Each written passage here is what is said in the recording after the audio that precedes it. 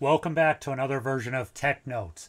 In this presentation, we're going to talk, look at a few problems with surge protection and grounding, and actually talk a little bit about high voltage surges as well as some lightning damage.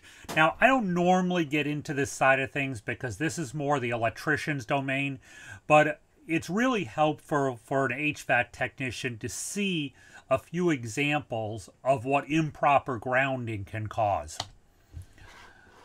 Now, before we go into this, I'm going to basically ask that everybody consider please subscribing. If you have not subscribed to my channel yet, it makes a big difference to those of us on YouTube. If you watch this video and learn something from it, please take a moment and subscribe and share it. Okay, the subscribe button is right under the video.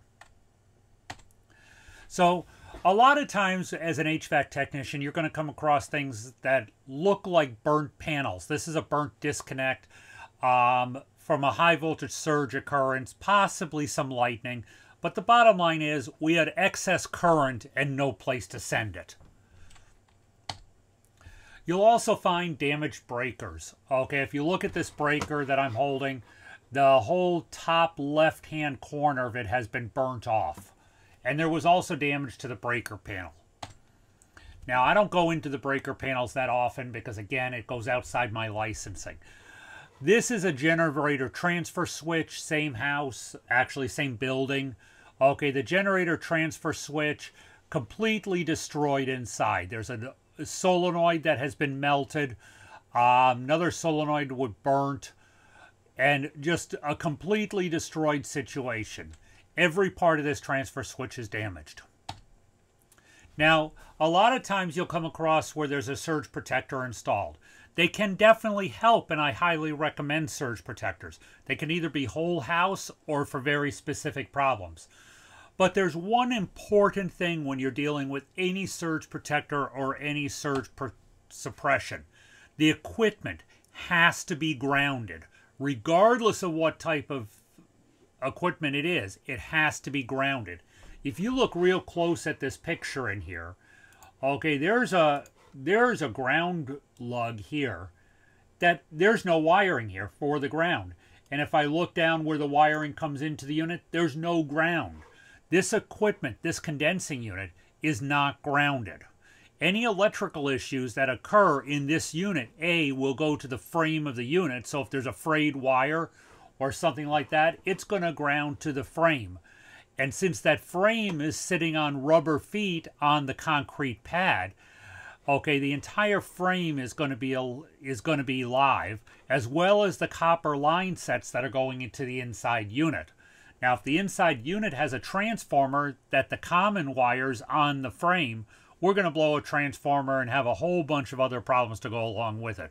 By the way, this unit was in the playground of a school. Any electrical issues then become a safety hazard. So grounding is important. It's one of the first things I check for. PVC will not properly ground a building. Okay, another picture.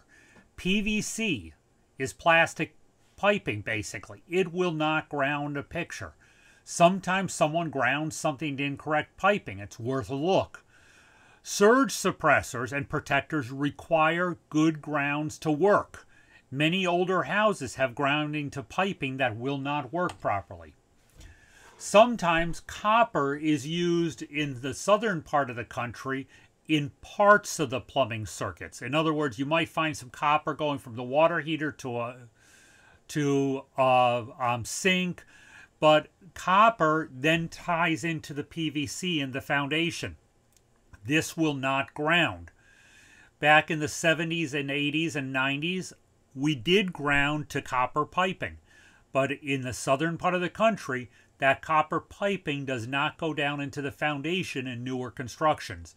Any surges in these cases will be transmitted via the water and can actually affect a much larger area. You must get excess current directly to ground and no place else. Improper grounding is important. We need to have ground rods. Okay, they're put into the ground, usually eight feet or more under. Needs to be done by an electrician as you may need more than one. Don't mess around with grounding. Okay. Depending on location, we might have to have two, three, or four rods in my house, I think we have six rods outside in the ground because of very sandy, dry soil. Doesn't conduct electricity well. If you see a grounding issue, document it and recommend that the customer call a licensed electrician.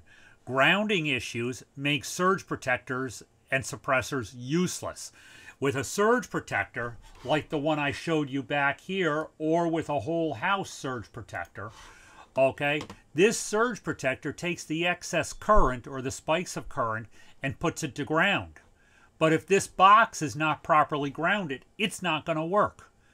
So again, grounding is very, very important for all systems. So if you see a ground problem, call an electrician. That's basically what I really wanted to get across on this as well as show you some of the damage. Please subscribe to my channel.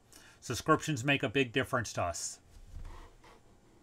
And stay tuned for more tech notes.